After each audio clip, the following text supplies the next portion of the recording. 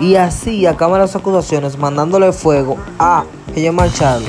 A continuación estaremos hablando de todo lo ocurrido.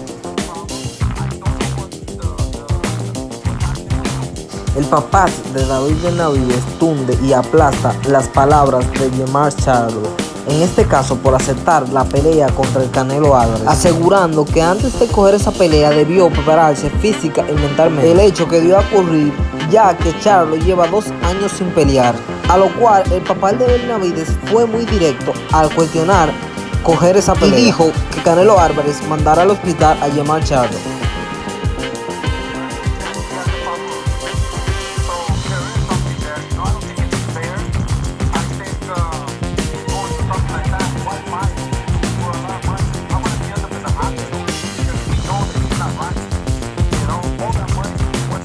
Aunque muchos han criticado el desempeño del Canelo Álvarez, el papá de Benavides afirma que el Canelo Álvarez tiene para mandar al hospital a Chema Charlo y que también va a subir a una división que no es en la que él está acostumbrado a pelear.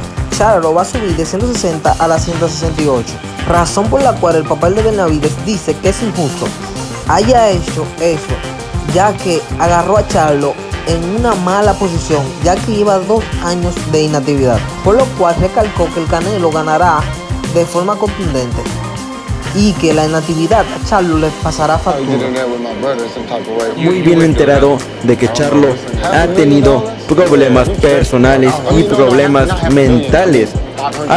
También se dice que Gemma Charlo ha tenido problemas personales y también problemas mentales. A lo que comenta el papá de Benavides de qué valdría una buena bolsa si podría terminar en un hospital o peor. Así fueron las declaraciones de parte del papá de Benavides. Así fue su pronóstico de qué pasaría en la pelea del Canelo Álvarez contra Yemar Charlo. Pronóstico muy duro, pero en parte muy cierto. Y que el Canelo lleva lo necesario para mandar al hospital a. Pero diga lo que cree usted. ¿Mandará o no Canelo a Charlo al hospital?